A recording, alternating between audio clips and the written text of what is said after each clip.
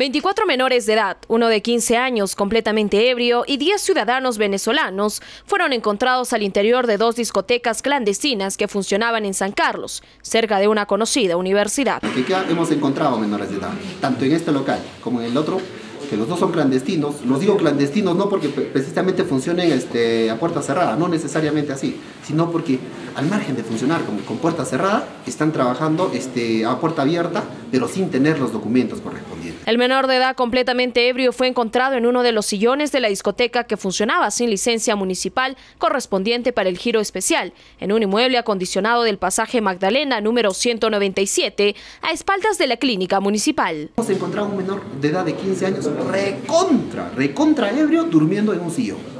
Eso, eso es lo que, lo que indigna de la población. Yo, perdón, de, la, de, estas personas que llevan estos giros.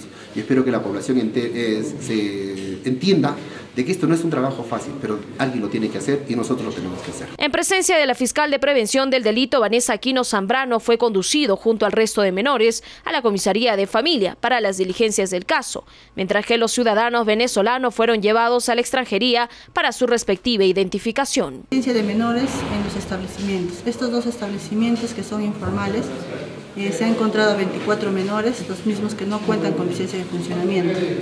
Eh, la venta indiscriminada de alcohol a estos menores de edad, por lo cual se ha procedido a la clausura por parte de la municipalidad y a los menores llevarlos pues a la comisaría de familia para proceder conforme a ley.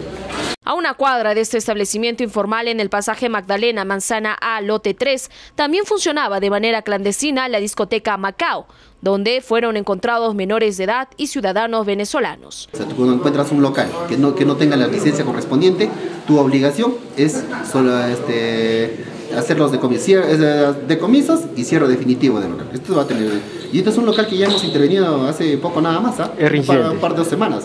O sea, que, ¿qué, quiero, qué, podemos entender acá? Que a la persona no le interesa si es que le cierras una vez, dos veces. Bueno, ojalá que en esta oportunidad entiendan un poco más de que no estamos viniendo en bromas. La sanción se va a dar. Espero que le hayan pagado la primera sanción.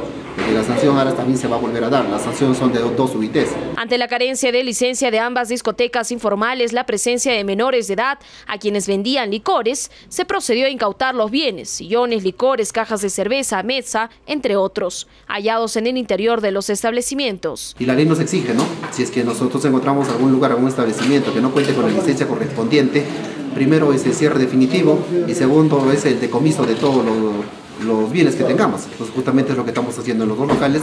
Vamos a decomisar todo, todo lo que se tenga y que tenga que ver con el giro.